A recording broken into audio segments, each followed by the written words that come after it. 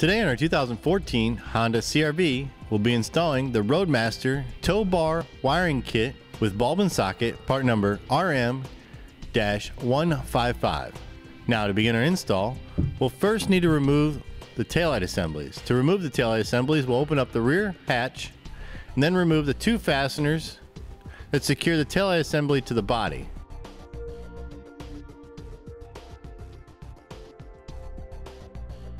Next, we'll go ahead and gently remove the taillight assembly from its position, releasing the fasteners and being careful not to break the alignment tabs underneath.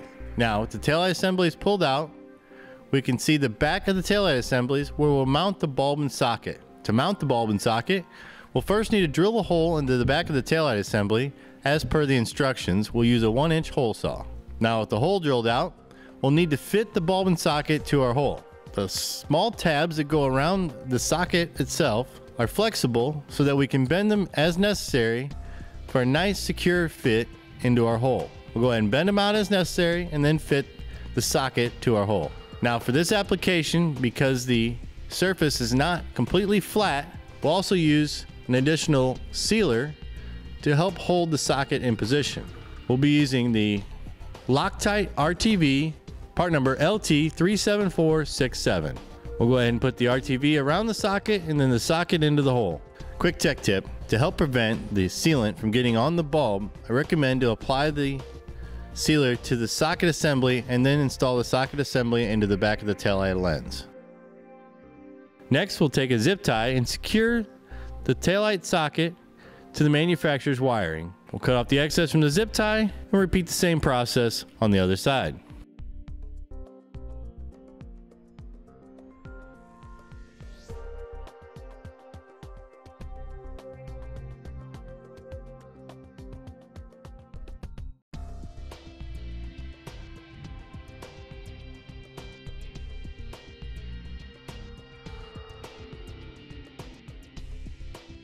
Next, we'll get underneath the vehicle and go ahead and route our four pole harness up behind the taillight assembly.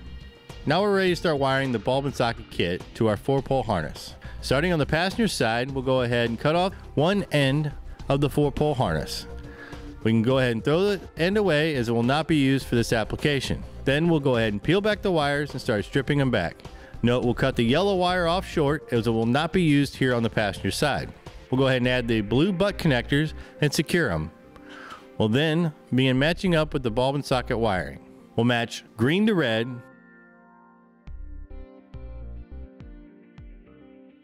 brown to brown,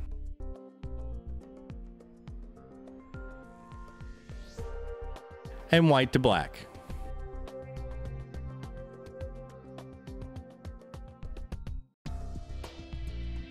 I recommend to wrap them up with some black electrical tape to help keep out any dirt, dust, debris, or moisture.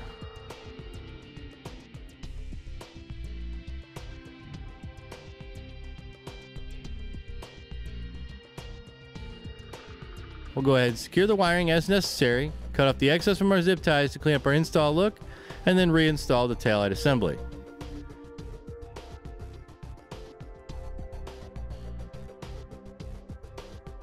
Next, we'll get underneath the vehicle and go ahead and route our four pole harness over to the driver's side and up behind the driver's side taillight assembly.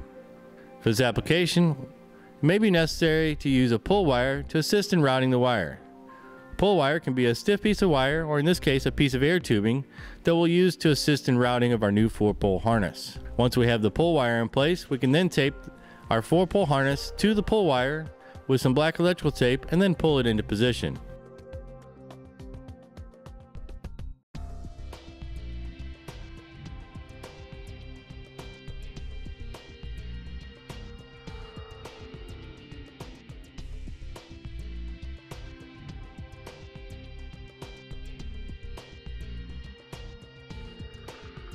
Now that we have our four pole harness up behind the driver's side taillight assembly, we'll go ahead and cut the white, brown, and yellow wire in half. We'll peel back both sides and strip them back. We'll then take the two ends that we just cut, twist them together, and secure them to one side of the yellow butt connector. The other side will match up with the taillight socket that we installed here on the driver's side. It'll be brown to brown and red to yellow.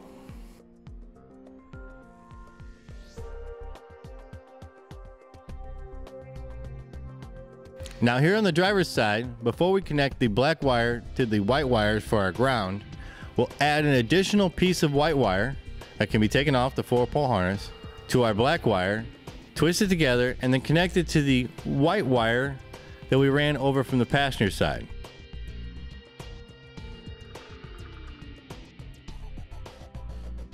We'll take the other end of our additional white wire that we're adding Cut off any excess, strip it back, and add the blue ring terminal provided with our install kit.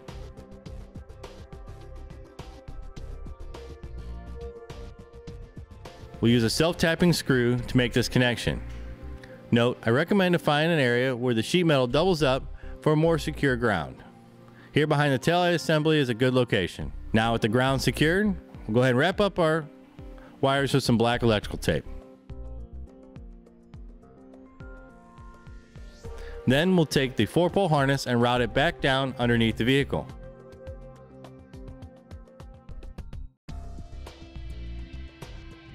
Now with our wires routed, we'll go ahead and secure them as necessary and cut off the excess from the zip ties to clean up our install look. Next, we can go ahead and reinstall the driver's side taillight assembly.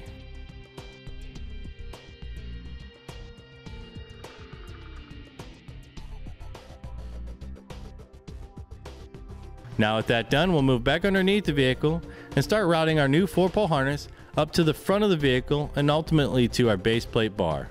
Keep in mind when routing your wires, stay away from any moving components such as steering or suspension or excessive heat such as exhaust. As we route the wire, we'll also secure it with some zip ties as necessary. For this application, it may also be necessary to loosen or remove some of the underbody panels when routing your wire.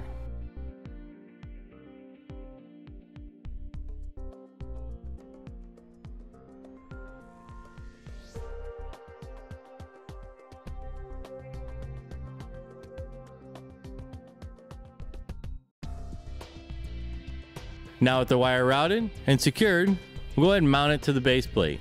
Using the hardware provided with the base plate, we'll go ahead and secure the mount with the self-tapping screw directly to the base plate electrical mount. Then we'll go ahead and route the four pole to it and secure it with a zip tie.